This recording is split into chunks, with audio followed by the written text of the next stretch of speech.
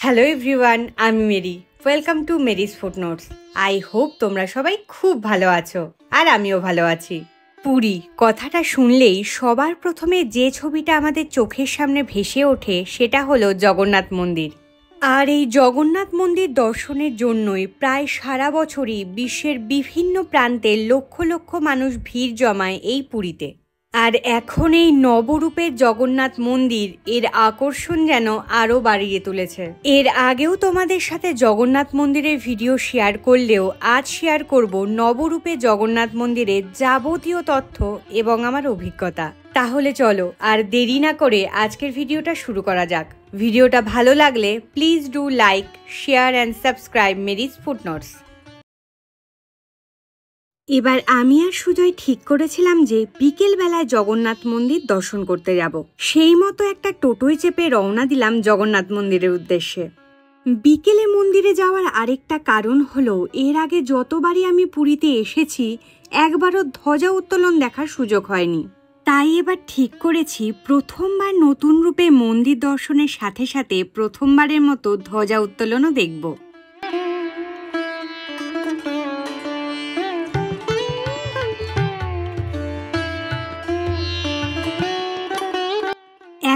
যেখানে দাঁড়িয়ে রয়েছি, সেখানে আগে প্রচুর দোকানপাট এবং ঘরবাড়ি ছিল।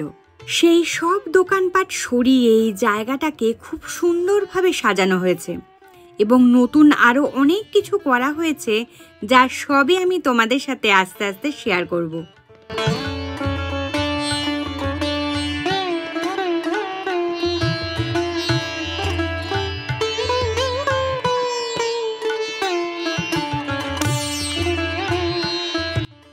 জগন্নাথ মন্দিরের বাইরেটা এতটাই কনজাস্টেড ছিল যে ঠিকমতো হাঁটা চলারও জায়গা ছিল না। কিন্তু এখন সেই সমস্যাটা আর একদমই নেই। এবং মন্দিরের বাইরে বসে কিছুটা সময় কাটানোর জন্য অনেক বসার জায়গা করে দেওয়া হয়েছে। তাছাড়া হাঁটতে হাঁটতে ক্লান্ত হয়ে গেলেও বসে খানিক্ষণ জিরিয়ে নিতে পারো।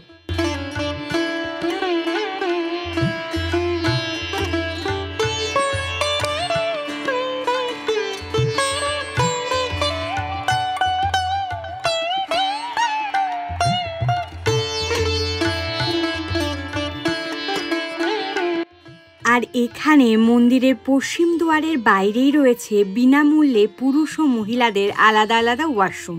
এছাড়া রয়েছে শেল্টার প্যাভিলিয়ন, যেখানে তোমরা বিনামূল্যে জুতো, ফোন রেখে মন্দিরে প্রবেশ করতে পারো। একইভাবে মন্দিরের সিংহদুয়ারের সামনেও জুতো, ফোন রাখার জায়গা রয়েছে। এছাড়া পুরো মন্দির চত্বরের বিভিন্ন জায়গায় পানীয় জলেরও ব্যবস্থা রয়েছে।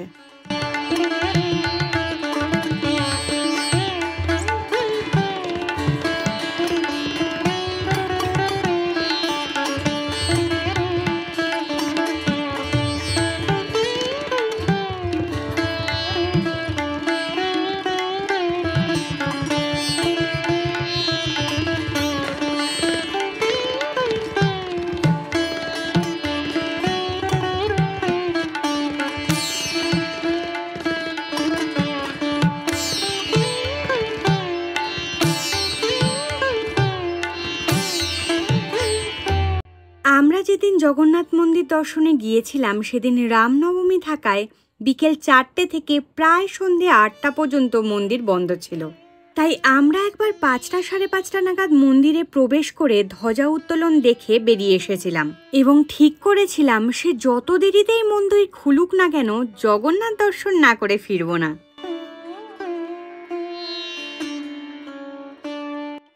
এতক্ষণ তো তোমরা প্রাকৃতিক আলোতে নবরূপে জগন্নাথ মন্দিরের সৌন্দর্য উপভোগ করলে।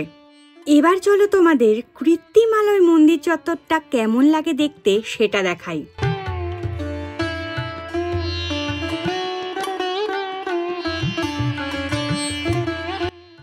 নতুন রূপে জগন্নাথ মন্দির হওয়ার ফলে সবচেয়ে ভালো যেটা হয়েছে সেটা হলো এই পুরো মন্দিরটা পরিক্রমা করার জন্য জায়গা তৈরি হয়েছে। এখন তোমরা এসে অন্যান্য জায়গার মতো এই পুরীর জগন্নাথ মন্দিরও পরিক্রমা করতে পারো। চলো জয় জগন্নাথ বলে আমাদের পরিক্রমাও শুরু করা যাক।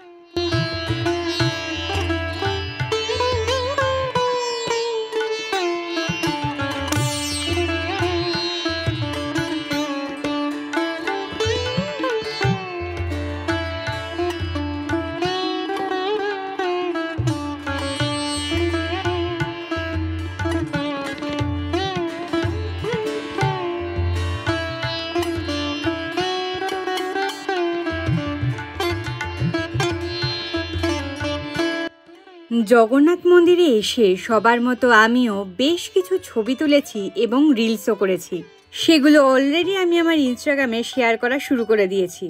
সেই সব ছবি এবং ভিডিও দেখতে চাইলে অবশ্যই আমার ইনস্টাগ্রামে ফলো করে নিও।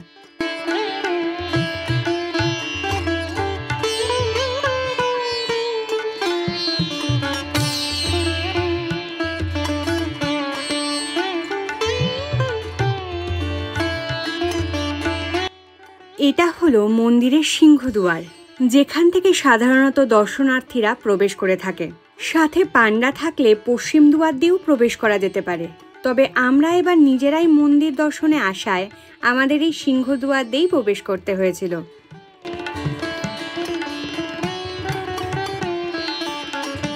এবার যদি জানতে চাও যে নতুন রূপে জগন্নাথ মন্দির দর্শন করে কেমন লাগল, তাহলে বলব, দারুণ। অসাধারণ, অভূতপূর্ব। এখন সন্ধে সাতটা পনেরো মতো বাজে। শুনেছিলাম আটটা নাগাদ মন্দির খুলবে। চলো, আবার জুতো, ফোন জমা রেখে মন্দিরে প্রবেশ করা যাক। যেহেতু আজই আমাদের রাত দশটা চল্লিশ নাগাদ ফেরার ট্রেন রয়েছে, তাই মন্দির থেকে বেরিয়ে হয়তো আর ভিডিও করার সময় থাকবে না।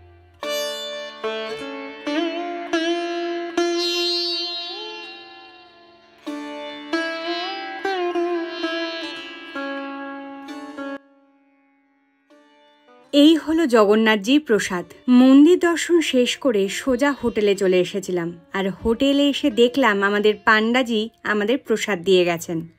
শুনেছি এই প্রসাদ সব সময় মাটিতে বসেই গ্রহণ করতে হয় এবং আমরাও তার অন্যথা করিনি।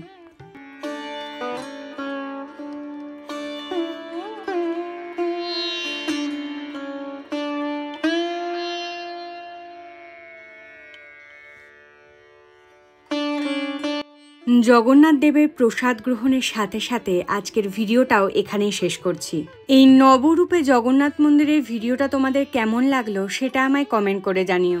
আর ভিডিওটা যদি তোমাদের ভালো লেগে থাকে, তাহলে please do like share and subscribe Mary's food notes দেখা হচ্ছে আর একটা নতুন কোনো ভিডিওতে। ততক্ষণ সবাই ভালো থেকো, সুস্থ থেকো। টাটা!